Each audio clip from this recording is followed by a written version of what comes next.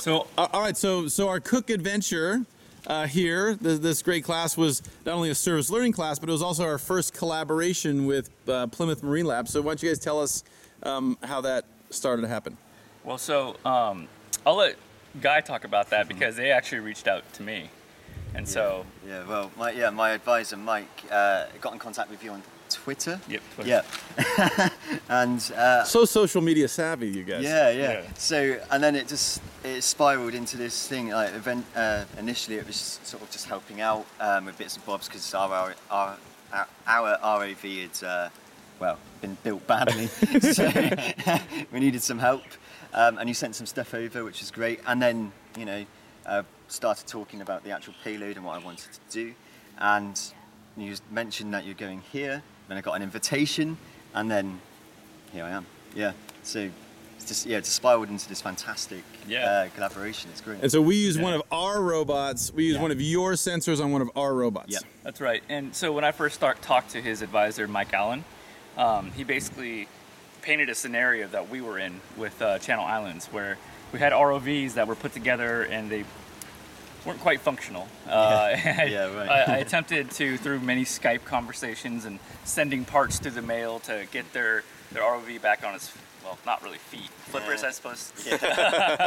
but uh, we tried to get it up and running, and it's unfortunately just too far gone. Yeah, And we, we were in the same boat as well. So uh, luckily, we have a, a, a pretty stable fleet of ROVs, and uh, through our Skype conversations, we developed a way to mount his package uh, onto our ROVs, and we kind of uh, planned for his his setup to go on our ROV. So by the time we got here, we had everything prepared, so it just slid right on. Yep. And all we had to do was some minor tweaks to get it uh, flying properly, uh, and it Yeah, worked worked. great. And it worked. yeah, it it worked worked great. really well. Yeah. Yeah. And yeah. so we uh, we were able to to prove his hypothesis uh, for finding biofluorescent proteins in coral. We found quite a bit. yeah, Actually. loads, Lo- loads more than I would have thought. You know. Yeah. So, so having sort of uh, the ability to communicate easily, having more open source type technology makes it easier for, for scientists to collaborate, not just share information, but actually Absolutely. do new collaborations and stuff. Absolutely. Yeah. And so one of the things we were doing is with the advent of 3D printers, we use a lot of Mm. 3D print parts. And so he would send me a file, uh, a 3D model, and I'd say, okay, cool. That's exactly the dimensions of the, the, the package that you have.